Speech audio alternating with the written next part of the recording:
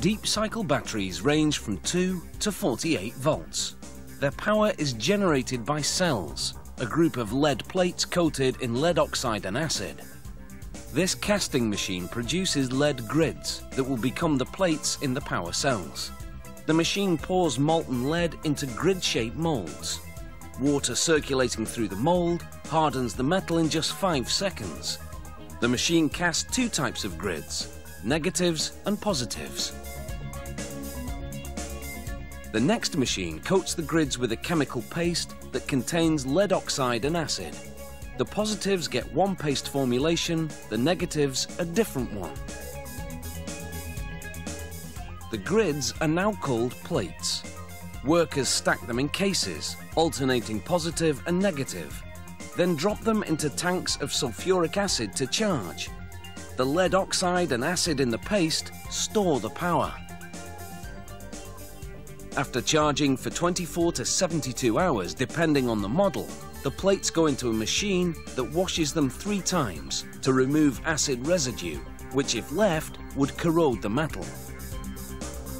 The charging process blackens the plates, which are now called dry charge plates. A machine wraps each positive in glass strand matting, an insulation material similar to fiberglass, then in a plastic envelope. These coverings protect the plates from short circuits. Workers stack the plates again, positive, negative, positive, negative. This time though, each stack contains a specific number, from 5 to 33 plates, depending on the battery model.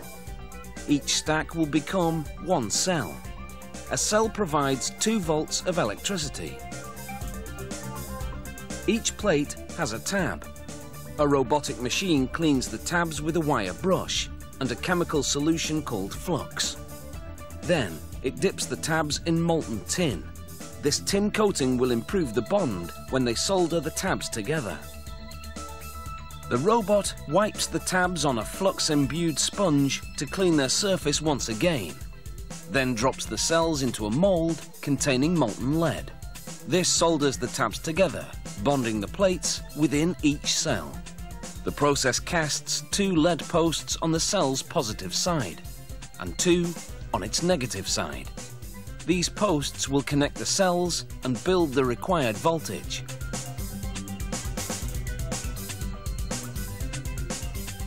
Next, each cell goes into a polypropylene casing called a jar.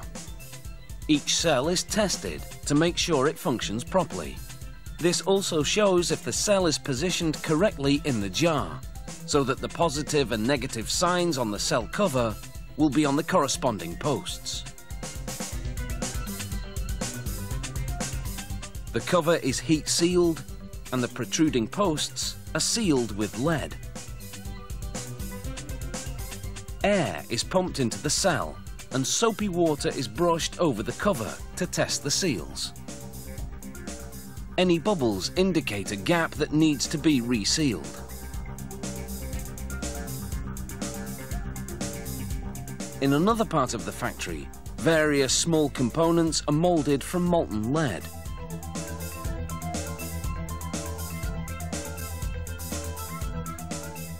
Among those parts are the connectors that link one cell to another.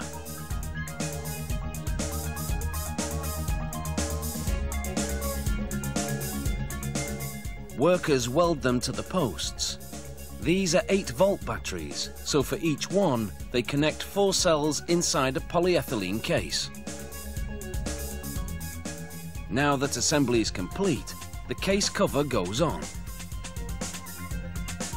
These rubber grommets keep water from seeping inside and shorting the battery.